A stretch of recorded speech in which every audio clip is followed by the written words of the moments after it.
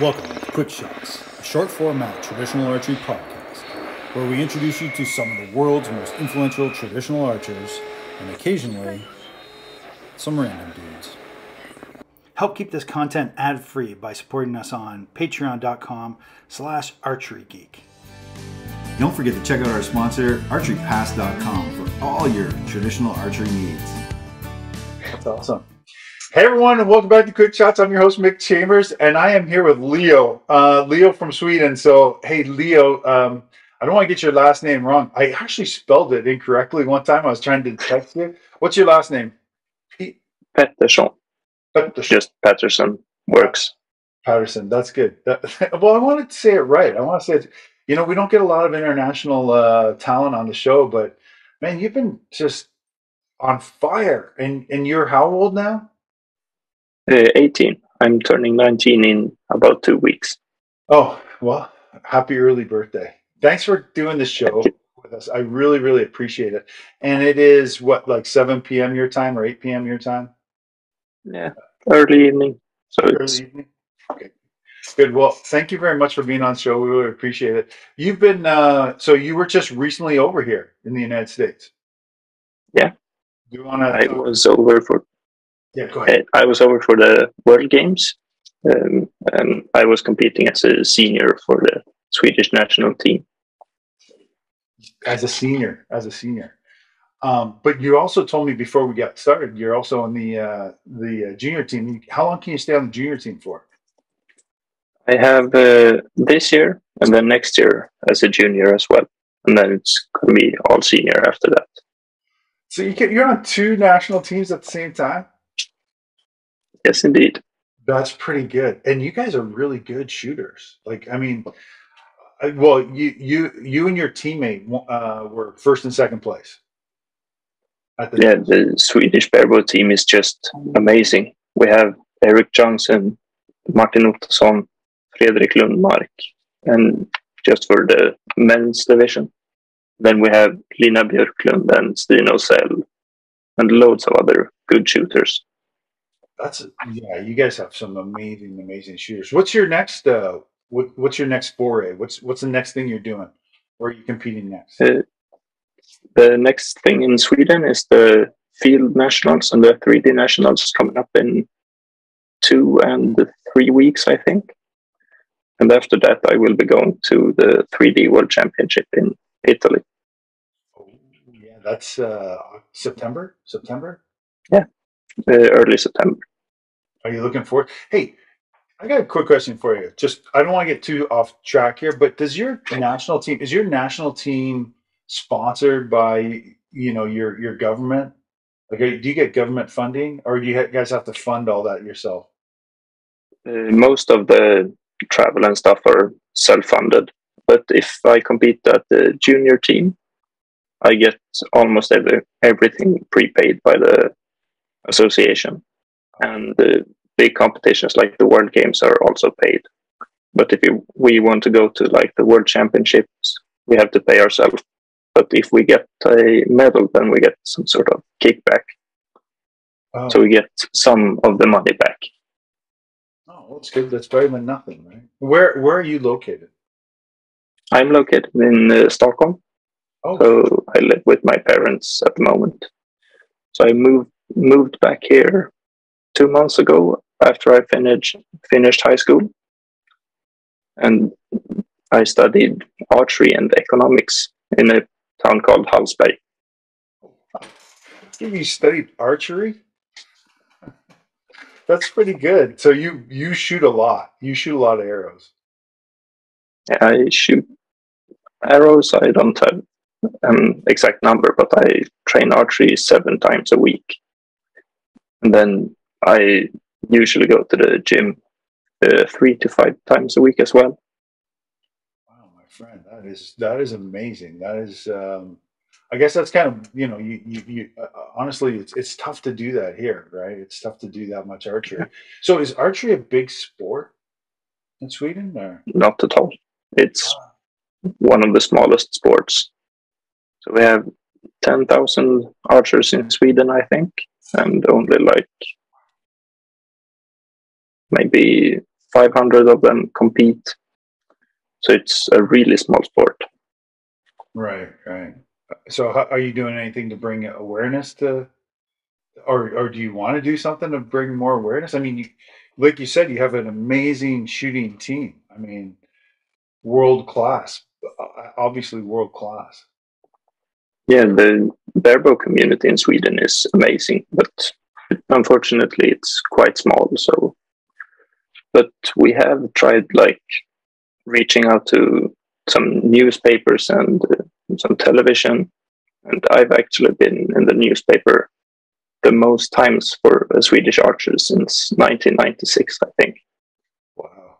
Well, you're just crushing it, though. I mean, you're just doing everything right. I, I don't know.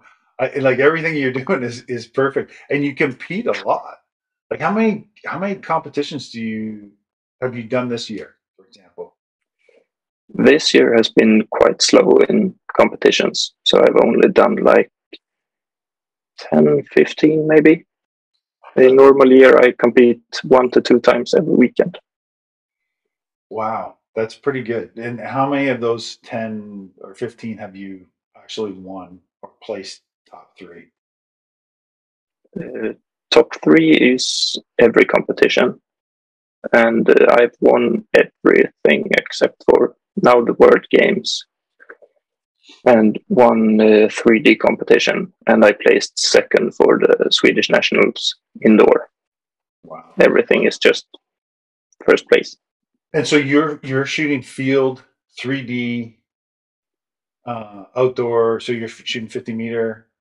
Uh, yeah. Indoor, you're obviously shooting indoor. You were you were over here for Lancaster, right? And it's just it's just amazing to see how many young folks were uh, on the stage at Lancaster. It's just unbelievable. Yeah. So you you shoot everything, every. And what's your favorite? My favorite is field, and then of course I like target and 3D, but field is my favorite. Tell me why. Tell us a bit why field is is your favorite. I think it's the culture in Sweden where we have such a like strong history and some really awesome shooters this, for a barebow archer in Sweden, it's really easy to love field because everybody does it. Okay. There's just this thing about field in Sweden. So it seems that you do it a little bit more. Um, it's it's beautiful too, right? Like when you actually go out. I, I don't know about here, but I, it's so hot. It's so hot, and going yeah. up and down the hills and stuff like that. Uh, but there you have like beautiful trees, you have beautiful forests, you have like ancient forests and stuff like that that you can go through. Just amazing. I've seen yeah. some pictures. I think I think back who else is I you know the different people I know that are over in Sweden. But uh, I have a cousin that's actually living in Stockholm right now too. But um, yeah, but yeah, it's kind of cool. Um, I just think that you guys are really interesting. How many languages do you speak? I speak Swedish, English, and uh, then Norwegian and Danish are basically the same as Swedish, so we understand each other. Yeah. And then I can make my I can have a small conversation in uh, French as well. That's odd. That's so amazing. So, no, I mean it is amazing for Americans. Right? I'm Canadian, but yeah. you know I live in the U.S. and uh, just it's just yeah. amazing that you guys can speak so many different languages and understand that, and the culture is just yeah, phenomenal. Do you uh, what how so give us your honest feedback on on the last time you were here in the United States. How was it? Did you, guys, did you have fun? It was really fun, but in Alabama, I think it's what it was a bit too hot for me.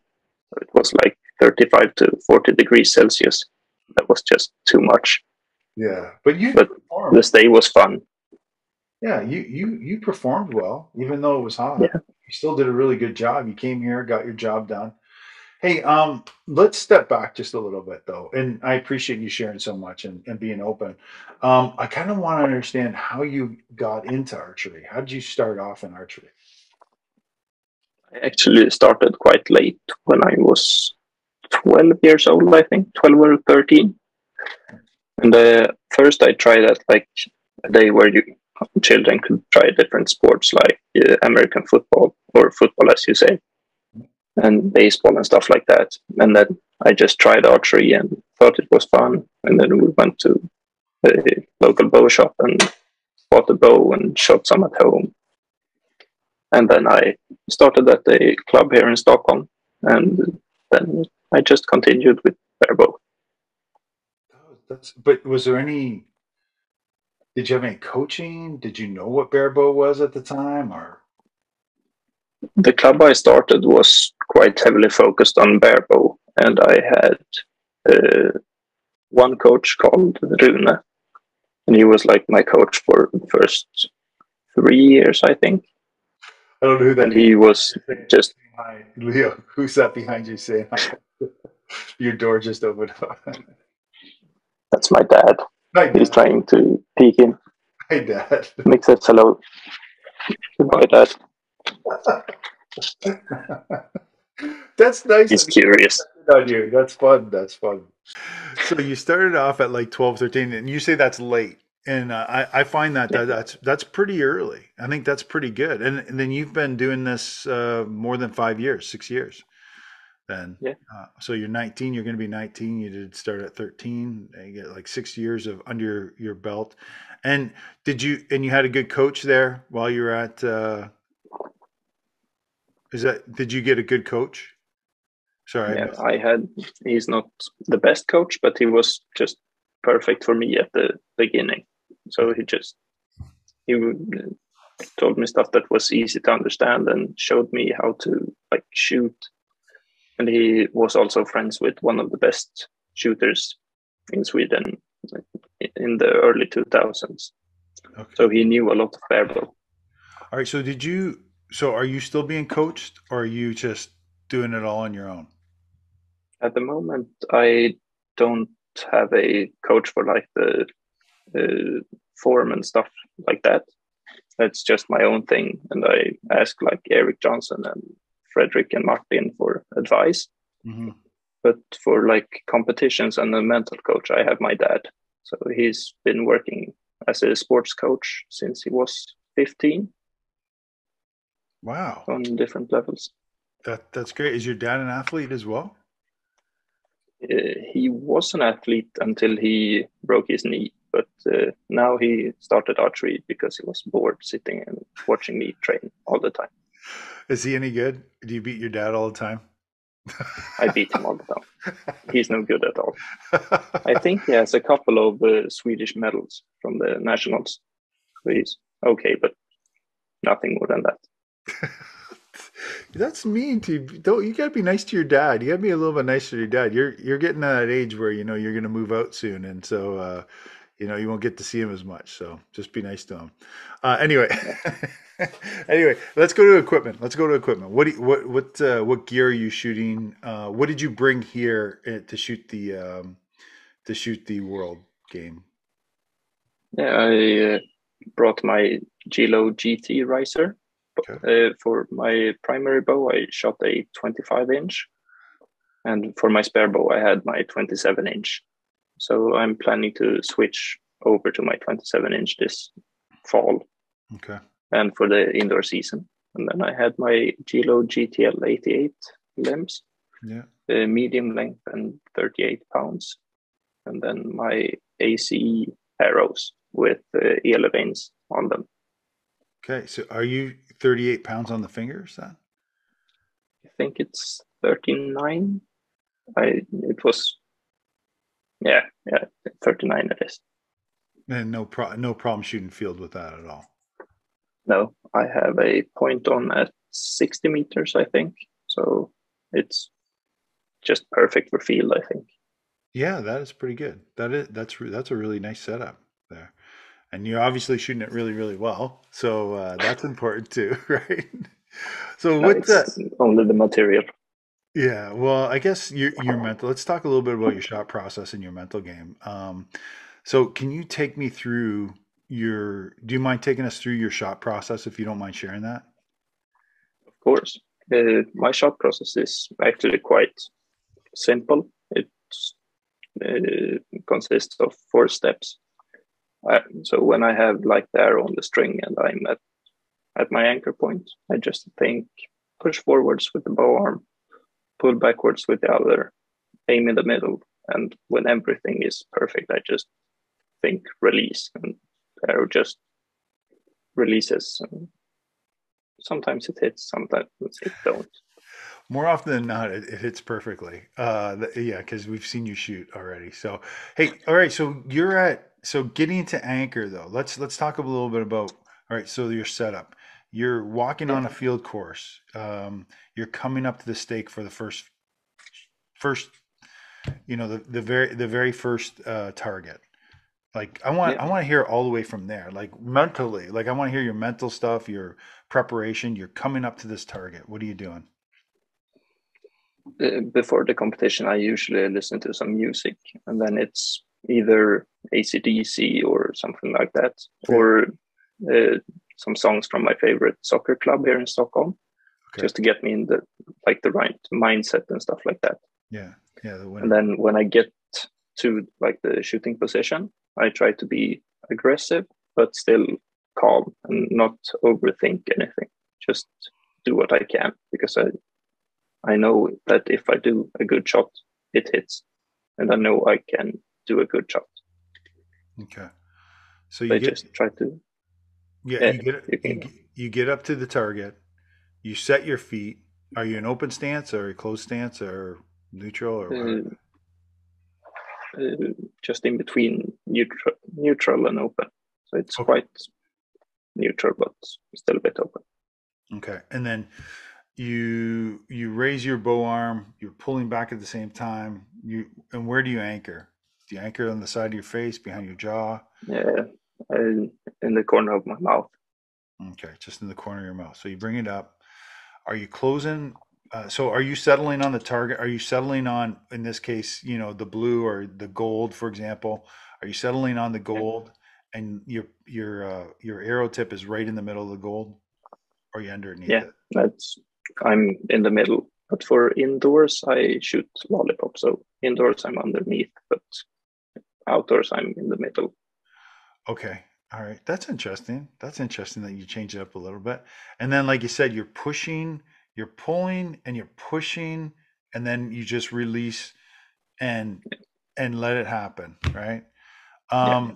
so do you once you've made that shot and maybe it didn't hit where you exactly wanted it to go do you go through something after the shot and say hey this is what i did right or this is what i did wrong or do you just go nah go on to the next shot if it's a good shot that or at least that it hits good.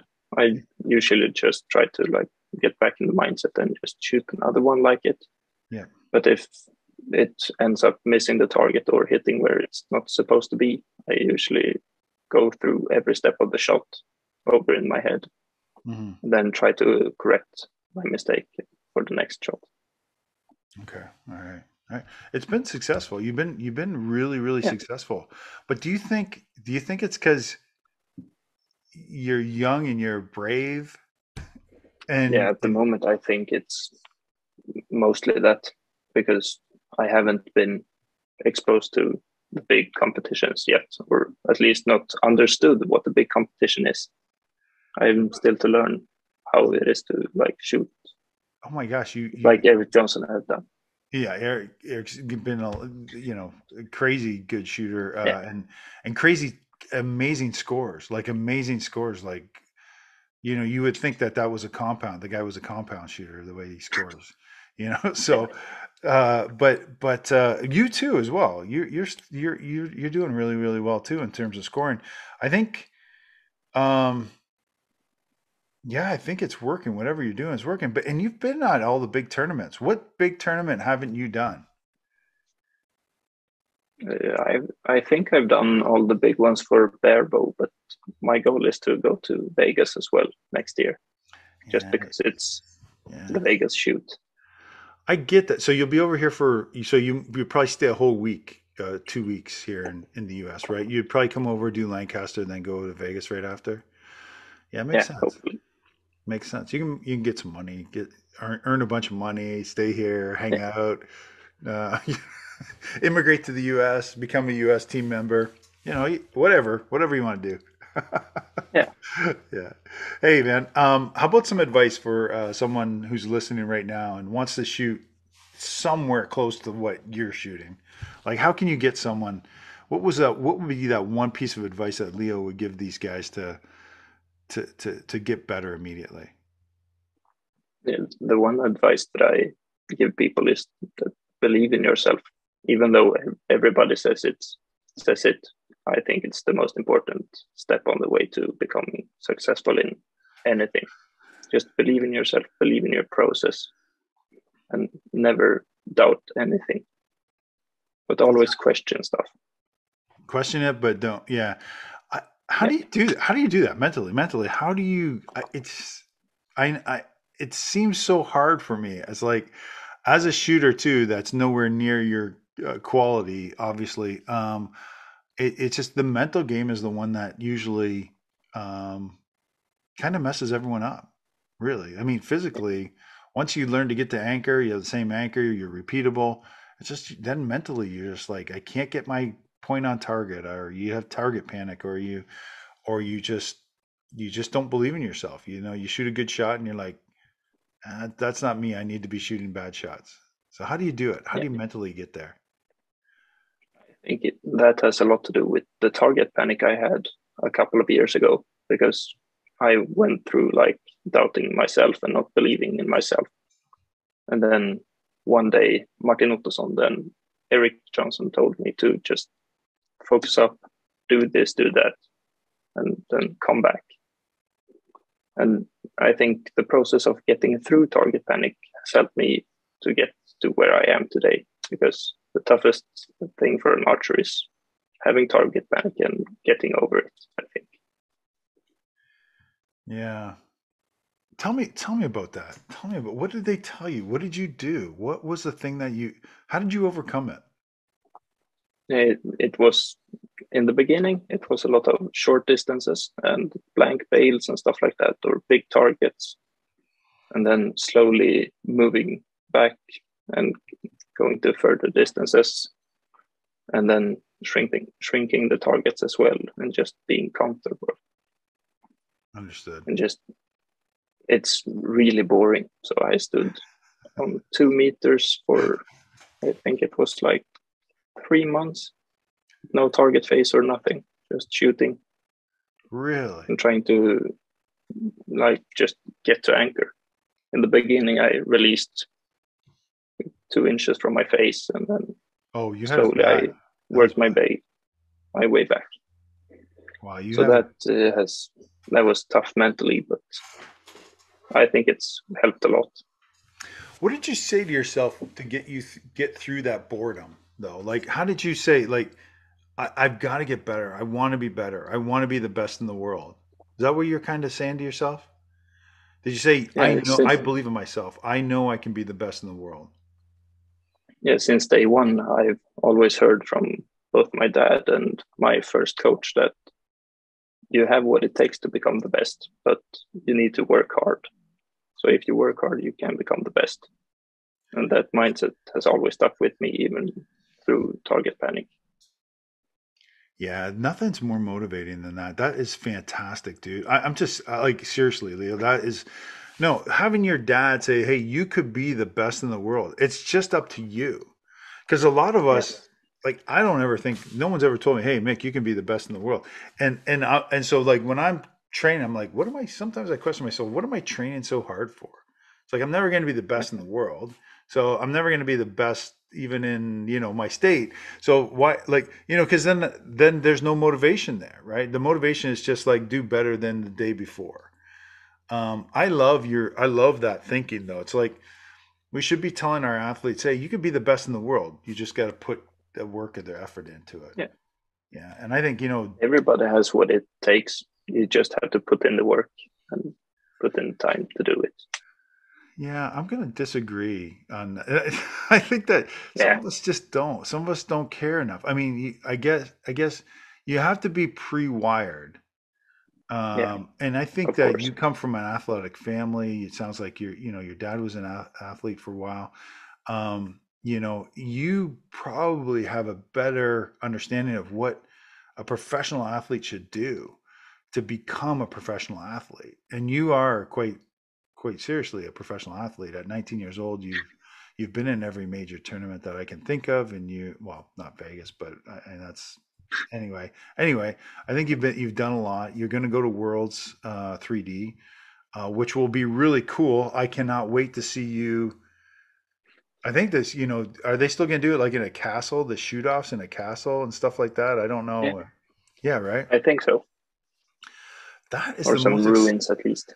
The ruins, like that, is the most exciting event I've ever seen in my entire life. You know that yeah. YouTube video. You know I'm talking about, Leo. You know the one that where the uh, uh, for me, I'm watching the Americans, right? So, you know, yeah. there was there was Dwayne and um, and uh, I forget who the compound shooter was, and uh, Calvin, uh, and then you know, so they had the they had the um, they had the longbow guys, then they had the barebow guys, and they had the compound guys. Is that still a format yeah. that they do over there? Is that will that happen? A team shoot? yeah, I, uh, I think there will be a team shoot. Uh, so hopefully I'll be on team, but uh, we're gonna send Fredrik Lundmark as well. So it's yeah, it's not easy to no, be yeah. ranked number one in Sweden. No, and be on the team for the men's competition. No, it's not. Um, but that's an exciting shoot. I hope you do. I hope I get yeah. a chance to see you in the in the castle or the ruins or whatever it is, because I just think that as a as a as a spectator, a person who loves uh, to watch uh, barebow uh, competitors, I love watching you shoot. Obviously, I loved watching the younger guys shoot. Uh, honestly, I know we didn't. You know, Aaron made it to the finals for the female yeah. on that side, which was fantastic. Maggie, I love watching her shoot. Um, you know, love watching you shoot. You know, just the young crowd coming up because there are some targets like Eric's got some world records that, and then Demer's got some world records that you guys, you guys will at your age, if you keep going on, you'll you'll crush those records. You'll crush them. So we'll have to see. I'll have to see. I'm I'm I'm, I'm excited. Hey, um, thanks for chatting with us. Did you do you where can people reach out to you and, and chat with you and on social? Uh, mostly on my Instagram, Leo Barebow Archer, and uh, uh, and my Facebook as well, Leo Pettersson. Yeah. So just reach out and I'll be in yeah. touch. Absolutely, yeah. Reach out to Leo, man. If you want to know more about this, and you know, you're, um, you know, it just just connecting internationally is really good, and I do appreciate this, man. I, I really yeah. appreciate that you could make time for this show. Uh, we don't get a lot of international people on here, so it's great when you know a champion is on the show. Uh, appreciate it. Um, honestly no seriously seriously you're you're you're yeah. going to be I'm I'm excited to watch you progress. I'm excited to watch all the young people progress, but you know you're doing something special out there. So keep up the good work and uh, you know good luck in the rest of the tournaments. Um, I'll be Thank cheering you. for you. I really appreciate uh, you being on the show. All right, uh, thanks everyone for watching. Um, until we talk again, man. Hunt the good stuff. We'll talk to you later.